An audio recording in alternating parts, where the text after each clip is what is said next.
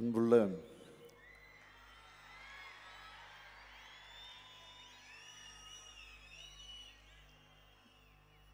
பல்வேறு கட்சிகளிலிருந்து விலகி நம்முடைய தாய் கழகமாம் திராவிட முன்னேற்ற கழகத்தில் தங்களை இணைத்துக் கொள்ளக்கூடிய இந்த சிறப்பான பொதுக்கூட்டத்தினுடைய மன்னிக்கவும் இந்த சிறப்பான மாநாட்டினுடைய தலைவர் மாண்புமிகு மின்சாரம் மதுவிலக்கு மற்றும் ஆயத்தீர்வைத்துறையினுடைய அமைச்சர் கோவை மாவட்டத்தினுடைய பொறுப்பு அமைச்சர் கரூர் மாவட்ட திராவிட முன்னேற்றக் கழகத்தினுடைய செயலாளர் செயல் வீரர் செந்தில் பாலாஜி அவர்களை கோவை மாநகர் கிழக்கு மாவட்ட கழகத்தினுடைய செயலாளர் நண்பர் கார்த்திக் அவர்களே. கோவை மாநகர் மேற்கு மாவட்ட கழகத்தினுடைய செயலாளர் திரு பையா கிருஷ்ணன் அவர்களே.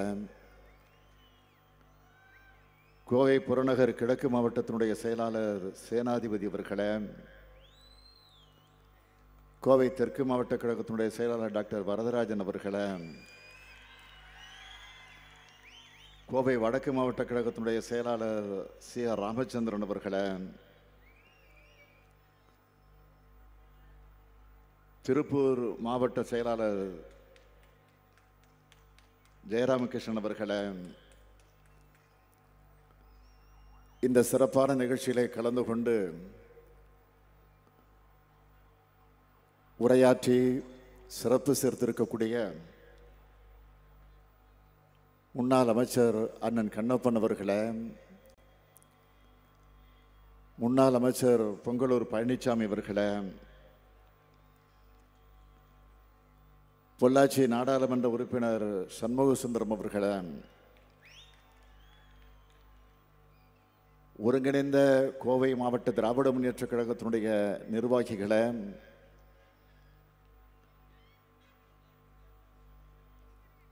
ஒன்றிய கழக நகர கழக பேரூர் கழக கிளை கழக. பல்வேறு அமைப்புகளை சார்ந்திருக்கக்கூடிய நிர்வாகிகளை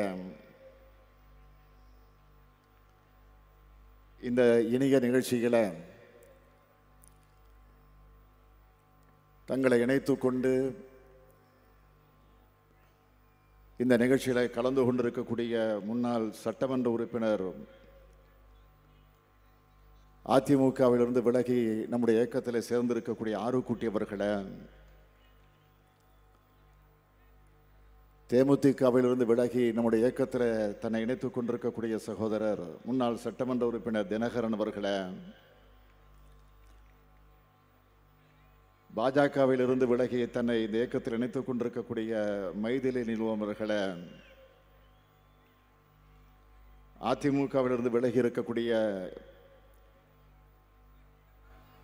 அபிநய அவர்களை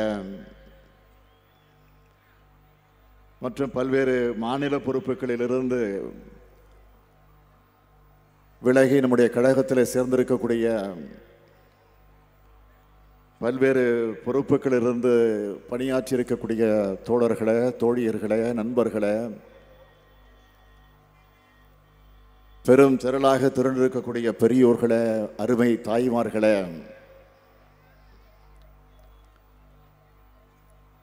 என் உயிரோடு கலந்திருக்கக்கூடிய தலைவர் கலைஞர் அவர்களின் உயிரினும் உயிரான அன்பு உடன்பிறப்புகளே.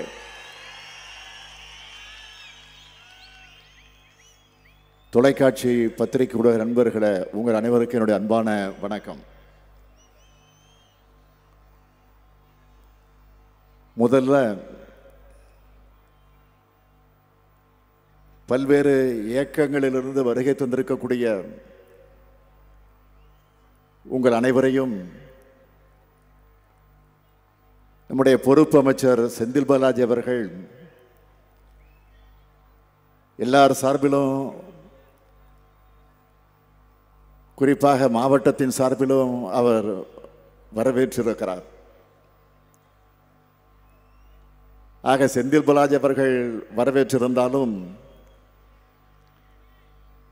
இந்த இயக்கத்தினுடைய தலைவர் என்கிற அந்த முறையில் திராவிட முன்னேற்ற கழகத்தின் சார்பில் உங்கள் அனைவரையும் வருக வருக வருக என்று நான் வரவேற்க கடமைப்பட்டிருக்கிறேன். இன்னும் சொல்லணும்னா உங்களில் ஒருவனாக இருந்து நம்முடைய முத்தமிழறிஞர் தலைவர் கலைஞர் அவர்களின் சார்பிலும் வருக வருக வருக வருக என நான் வரவேற்க விரும்புகிறேன். ஒளிவடைத்த கண்ணினாய் வா வா வா என்று அழைக்கிறேன். உறுதி கொண்ட நெஞ்சினாய் வா வா வா என்று அழைக்கின்றேன். தெளிவு பெற்ற மதியினாய் வா வா வா என்று அழைக்கின்றேன். நான் இப்படி அழைப்பதற்கு காரணம் கிளிபிடித்த நெஞ்சினாய் போ போ என்று சொல்லிவிட்டு நீங்கள் கீழ்மை என்னும் வேண்டுவாய் போ போ என்று சொல்லிவிட்டு நீங்கள் இங்கே வந்திருக்கிறீர்கள். அதனால்தான் உங்களை ஒளிவடைத்த கண்ணினாய் வா வா வா என்று அழைக்கின்றேன். மாற்றுக் கட்சியிலிருந்து நீங்கள் வந்திருக்கிறீர்கள் என்றோ மாற்றாந்தாய் மக்கள் என்றோ நான் நான் நினைக்கவில்லை. நாம் அனைவரும் ஒரு தாய் மக்கள் என்ற உணர்வோடு உங்களை நான் அழைக்கிறேன். இத்தனை லட்சம் பேரை தாங்குவதற்கு ஒரு வயிறு தாங்காது என்கிற காரணத்தால் தனித்தனி தாய் ஈண்டெடுத்த பிற உடன்பிறப்புகள் என்று நம்முடைய பேரறிஞர் அண்ணா அவர்கள் அடிக்கடி சொல்வார்கள். அந்த வகையில் நாம் அனைவரும் ஒரு தாய் மக்கள். எனவே நீங்கள் வர வேண்டிய இடத்திற்கு தான் வந்திருக்கிறீர்கள். சேர வேண்டிய இடத்திலே தான் வந்து சேர்ந்திருக்கிறீங்க. இருக்க வேண்டிய இடத்துக்கு தான் வந்திருக்கிறீங்க. பிரிந்தவர் கூடினால் பேசவும் வேண்டுமா என்பார்கள். அத்தகைய மனநிலையில்தான் நான் இருக்கிறேன். உங்கள் முகத்தில் காணும் மகிழ்ச்சியானது எனது மன மகிழ்ச்சியை பன்மடங்கு உயர்த்தி விட்டது உங்களை எல்லாம் சிந்தாமல் சிதறாமல் திராவிட முன்னேற்றக் கழகம் என்ற இந்த கூட்டுக்குள் அழைத்து வந்து இந்த மாவட்டத்தினுடைய பெருமையை அவர் அதிகப்படுத்தி இருக்கிறார். நம்முடைய மாவட்டத்தினுடைய பொறுப்பு அமைச்சர் செந்தில் பாலாஜி அவர்கள். அவரை நான் மனதார பாராட்டுகிறேன் வாழ்த்துகிறேன். நான் பல முறை சொன்னது உண்டு செந்தில் பாலாஜி அவர்கள் ஒரு செயலில் இறங்குறாருன்னா அது பாராட்டுக்குரிய செயலாகத்தான் அமையும். என் பக்கத்தில் உட்கார்ந்துருக்கிற அண்ணன் கண்ணப்பன் அவர்கள் இடத்துல சொன்னார்.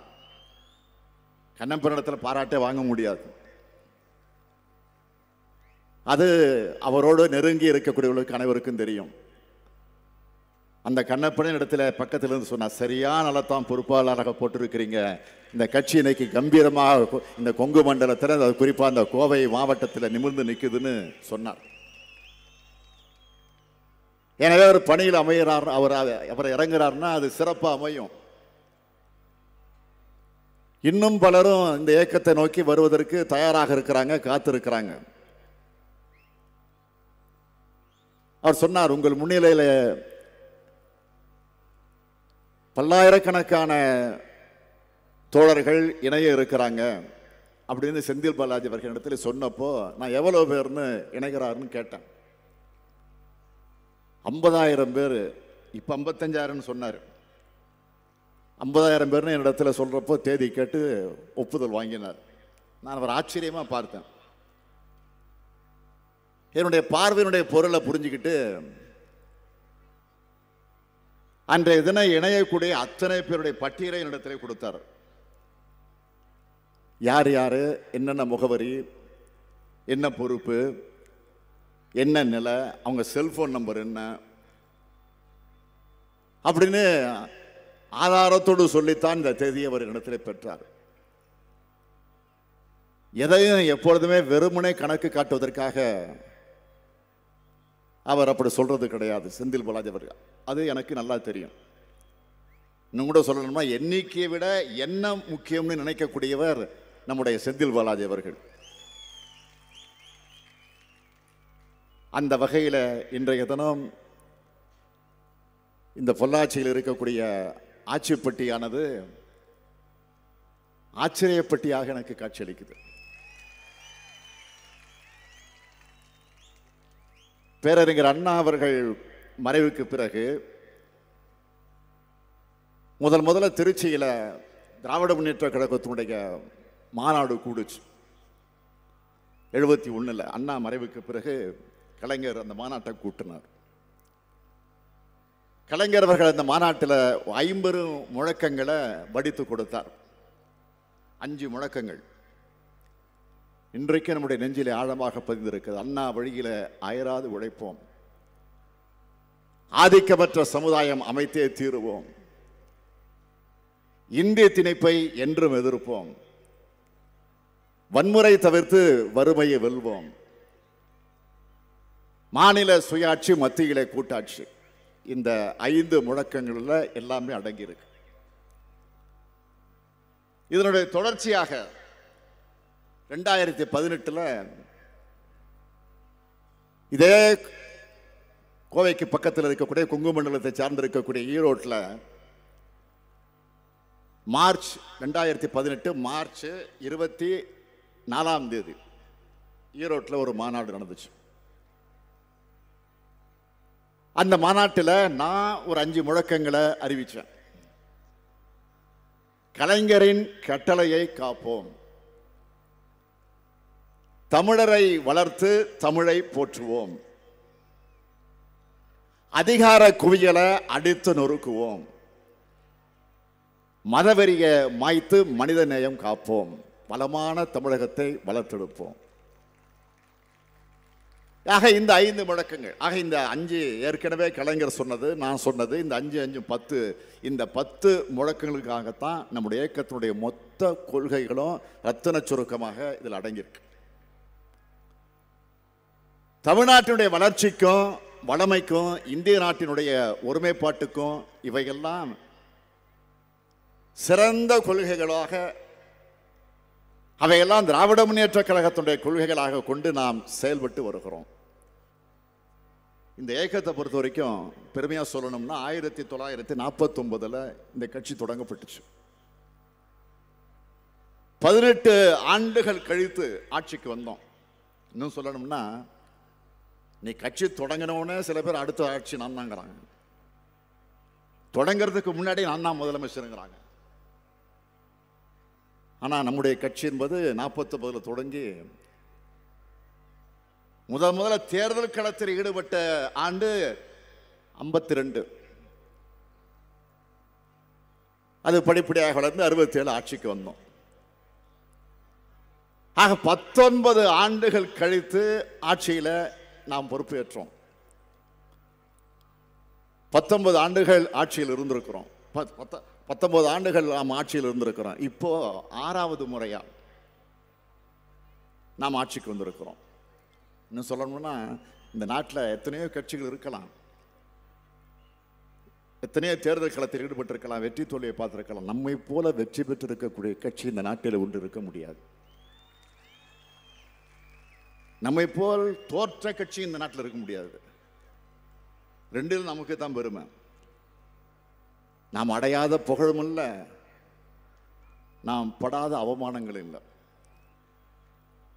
நாம் செய்யாத சாதனைகளும் இல்லை அடையாத வேதனைகளும் இல்லை. இவ்வளவுக்கும் பிறகும் இந்த இயக்கம் எழுபது ஆண்டுகளை கடந்தும் நின்று நிலைத்து நீடித்து கொண்டிருக்கிறது என்றால் அதற்கு ஒரே காரணம் நாம் கொள்கைக்காரர்கள் என்கிற காரணத்தால். அந்த கொள்கையை காப்பாற்றுவதற்காக உயிரையும் தருவதற்கு தயாராக இருக்கிறோம் என்கிற அந்த காரணத்தால். தீராத நோய் புற்றுநோய். அதுக்கு மருத்துவமே கிடையாது. எவ்வளோ சிகிச்சையில் வருகிறது. விஞ்ஞான ரீதியாக என்னென்னமோ வந்துக்கிட்டு இருக்கு. இருந்தாலும் அது ஒரு தீராத நோய் ஒரு கொடிய நோய் புற்றுநோய். அந்த புற்றுநோய்க்கு ஆளாக்கப்பட்டவர் நம்முடைய அறிஞர் அண்ணா அவர்கள். அந்த புற்றுநோய் ஆளாக்கப்பட்டிருந்தாலும் அந்த நேரத்தில் தமிழ்நாட்டுக்கு மகத்தான திட்டங்களை தீட்டி கொடுத்தவர் தான் பேரறிஞர் அண்ணா அவர்கள். முதுமையின் காரணமாக தன்னுடைய உடல்நலம் தளர்ந்து போனாலும் தமிழ் சமுதாயத்திற்காக தொண்ணூத்தைந்து வயசு வரை செயல்பட்டவர் பாடுபட்டவர் பணியாற்றியவர் உழைத்தவர் நம்முடைய தமிழக தலைவர் கலைஞர் அவர்கள்.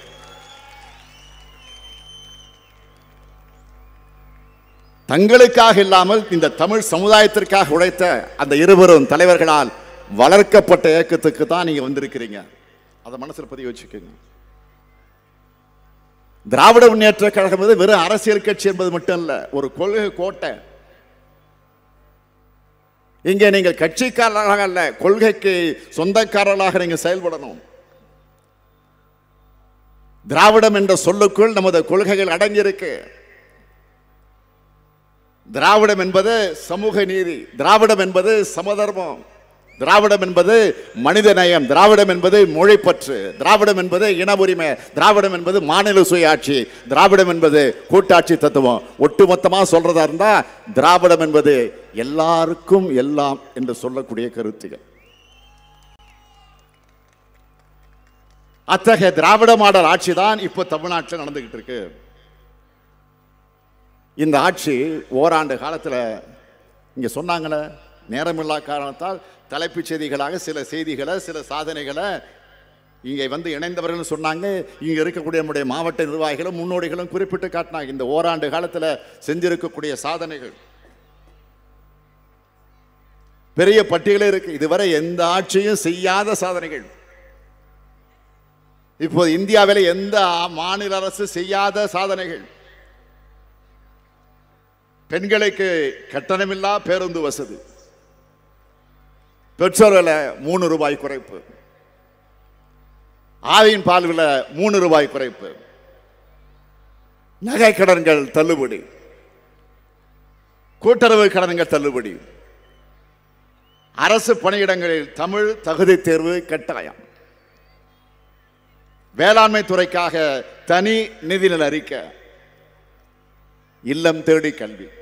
மக்களை தேடி மருத்துவம். நான் முதல்வன். இன்னுயிர் காப்போம். நம்மை காக்கும் நாற்பத்தி எட்டு தமிழ்நாடு ஒலிம்பிக் தங்கப்பதக்க தேடல். அறிவுசார் நகரம். சமத்துவரங்கள். உழவர் சந்தைகள். அரசு முன்மாதிரி பள்ளிகள். பத்திரிகையாளர் நலவாரியம். எழுத்தாளர்களுக்கு கனவு இல்லம். இலக்கிய மாமணி விருது. கலைஞர் எழுதுகோல் விருது. பேராசிரியர் அன்பழகனார் பள்ளிகள் மேம்பாட்டு திட்டம். பெருந்தலைவர் காமராசர் கல்லூரிகள் மேம்பாட்டு திட்டம். முதலீட்டாளர்களின் முதல் முகவரி தமிழ்நாடு. உங்கள் தொகுதியில் முதலமைச்சர். தந்தை பெரியார் பிறந்த நாளில் சமூக நிதி நாள் உறுதிமொழி.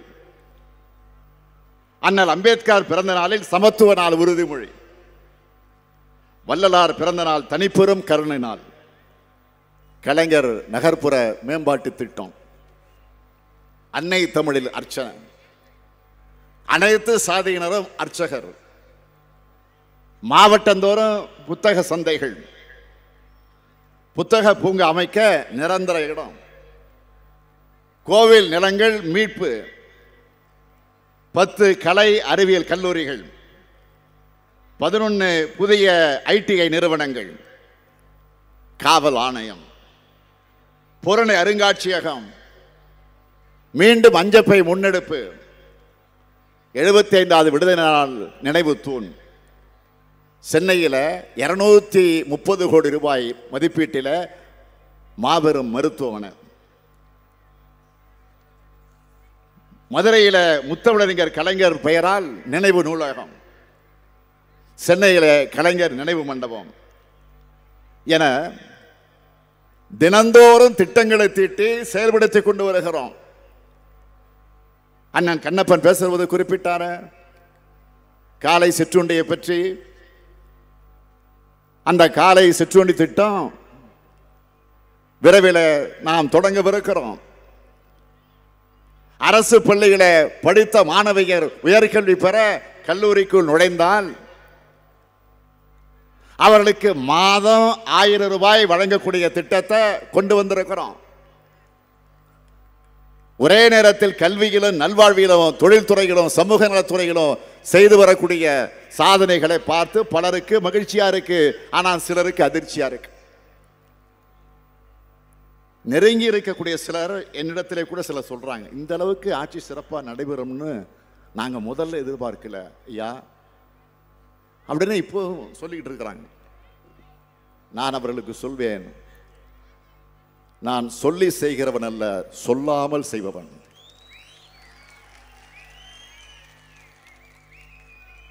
தலைவர் கலைஞருடைய முழக்கம் என்பது சொன்னதை செய்வோம் செய்வதை சொல்வோம். எனது பாணி என்பது சொல்லாததையும் செய்வோம் சொல்லாமலும் செய்வோம்.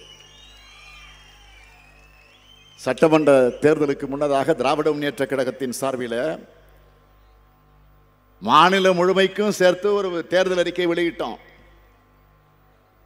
அதே போல மாவட்டங்களுக்கென தனியாக ஒரு தேர்தல் அறிக்கை வெளியிட்டோம். அப்படி வெளியிடப்பட்டிருக்கக்கூடிய இந்த தேர்தல் அறிக்கையிலே அறுபதிலிருந்து எழுபது விழுக்காட்டுக்கு அதிகமான வாக்குறுதிகளை நாம் நிறைவேற்றியிருக்கிறோம். மற்றவை என்ன அப்படின்னு நீங்கள் கேள்வி கேட்கலாம். உறுதியோடு சொல்கிறேன் மற்றவையும் படிப்படியாக உறுதியாக அண்ணா மீது ஆணையாக சொல்லுகிறேன். அது நிறைவேற்றப்படும். செய்து தரப்பட்டுள்ள திட்டங்களை பார்த்தீர்கள் என்றால் நமது தேர்தல் அறிக்கை சொல்லப்படாத பல திட்டங்களை நிறைவேற்றிருக்கிறோமா இல்லையா? இதுதான் சொல்லாமல் செய்கிற பாணி. எனவேதான் எதிர்க்கட்சியுடைய அவதூறுகள் பழிச்சொற்களுக்கு பதில் சொல்வதற்கு எனக்கு நேரம் இல்லை. இருபது மணி நேரம் உழைக்கிறார் என்று செந்தில் பாலாஜி சொன்னார். ஆட்சியை எப்படி பயன்படுத்த என்பதற்காக உழைக்கிறேன். மற்றவங்களை சொல்லுகிற பழி சொல்லுக்கு இழி சொல்லுக்கெல்லாம் நான் பதில் சொல்ல நான் விரும்புகிறேன் அதுக்கு நேரம் இல்லை முதல்ல எனக்கு. நீங்கள் ஒவ்வொருவரும் எந்த இயக்கத்திலிருந்து வந்தீர்கள் என்பது எனக்கு தெரியும். அந்த இயக்கங்களையும் தலைவர்களையும் விமர்சிப்பதற்கு நான் நேரத்தை செலவு செய்ய போறதில்லை. அவர்களை பற்றியெல்லாம் விமர்சித்து உங்களிடத்தில் கைத்தட்டு வாங்க நான் விரும்பலை. தமிழ்நாட்டு மக்களுக்கு நன்மை செய்வதன் மூலமாக உங்களிடத்தில் பாராட்டுக்களை பெறுவதைத்தான் நான் விரும்புகிறேன். ஏனென்றால் இதுதான் மக்களுடைய இயக்கம். தமிழ்நாட்டு மக்களுடைய மேன்மைக்கான இயக்கம். அத்தகைய இயக்கத்துக்கு தான் நீங்கள் வந்திருக்கிறீங்க. வர வேண்டிய நேரத்தில் சரியாக வந்திருக்கிறீங்க. செந்தில் பாலாஜி சொன்னார நாடாளுமன்றம் தேர்தல் நெருங்கி கொண்டிருக்கிறது. நாடாளுமன்ற தேர்தல் பணிகளுக்கு உங்களை நீங்கள் தயாரிக்கிக் கொள்ளுங்கள். அதற்கு முன்னதாக கழகத்தினுடைய கொள்கைகள் லட்சியங்கள் வரலாறுகள் ஆகியவற்றை தெரிந்து கொள்ளுங்கள். திராவிட மாடல் பயிற்சி பாசறை கூட்டங்களை இளைஞரணியின் சார்பில் இன்றைக்கு மாநிலம் முழுவதும் மாவட்டந்தோறும் பல்வேறு நகர பகுதிகளில் ஒன்றிய பகுதிகளில் நடத்தப்படுகிறது. அதில் பங்கெடுத்து பேசக்கூடிய கருத்துக்களை நீங்கள் உள்வாங்கிக் கொள்ளுங்கள். பிறருக்கு எடுத்துச் சொல்லுங்கள். அப்படித்தான் இந்த இயக்கமே பட்டி தொட்டி எல்லாம் பரவி வளர்ந்திருக்கிறது. இன்னும் சொல்லணும்னா கழகத்தின் போர் முரசமாக இருக்கக்கூடிய முரசொலை நாளிதழ தவறாம படியுங்க உங்களை கருப்பு சிவப்பு மனிதராக நீங்கள் மாற்றிக்கொள்ளுங்கள் தமிழகத்தை முதன்மை மாநிலமாக மாற்ற உங்களை நீங்கள் ஒப்படைத்துக் கொள்ளுங்கள். தந்தை பெரியார் பேரறிஞர் அண்ணா முத்தமிழறிஞர் கலைஞர் திராவிட முன்னேற்ற கழகம் என்ற இயக்கத்தினுடைய பெயர் கருப்பு சிவப்பு கொடி. உதயசூரியன் சின்னம். ஆகிய ஆறும் தான் உங்கள் இதயத்தில் சிந்தனையில் செயலில் ஆறாக ஓ-